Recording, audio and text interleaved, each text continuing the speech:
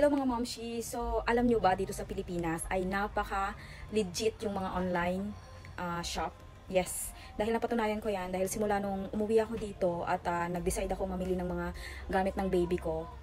Una ay ah, namili ako sa mall pero sobrang hassle pala guys kapag namili ka sa mall kasi kung wala kang sariling sasakyan at marami kang binili, kailangan mong kumuha ng Grab or taxi.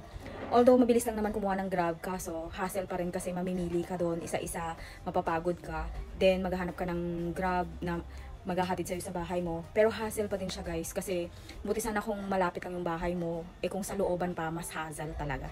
Then eto nga po, ang good news dito ay sobrang saya ko sa TikTok shop kasi po nakaka-order ako or nakakapamili ako ng mga gamit ni baby na walang kahirap-hirap. Then dinideliver pa dito sa bahay.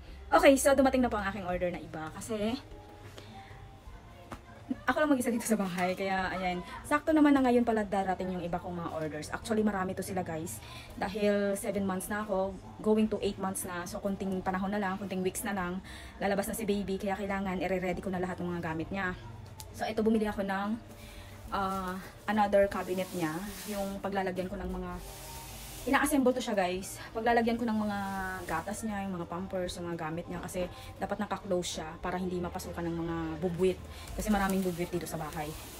Then, eto naman, ayan, medyo malaki pala siya.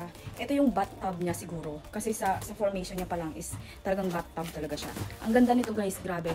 Lahat ng binibili ko ay chinecheck ko muna yung mga brand nila or yung kinukompare ko yung mga namili na din o yung mga nagre-review. Kaya alam ko na maganda yung mga nabili ko.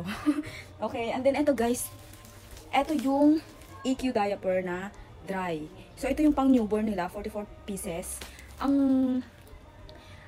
ang alam ko kasi guys, ah, kung pwede meron merong ano sa mga newborn ay tape pa rin pala yung style niya. So kung meron man na parang pants or panty pants na style, ang hirap hanapin. So dito na muna ako sa sa yung dinidikit pa, ba? Para mabilis lang siyang tanggalin or ano kasi pag sa baby daw sa newborn, kailangan ganun daw yung gagamitin. Pero kung makahanap ako ng pang newborn na na panty or pan, pants style na siya, much better siguro. Pero i-comment nyo nga guys kung ano yung maganda para sa mga newborn. Kailangan ba talaga yung dinidikit-dikit pa? Parang hassle kasi.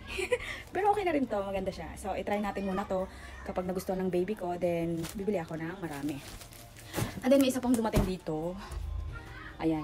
Ito yung mga gamit niya, yung mga personal na gamit, yung mga nails, mga nail cutter, yung mga pang ah, check sa kanyang temperature. Actually, bumali na rin ako ng temperature na binabaril lang. Yung ano lang, yung dito lang sa noo.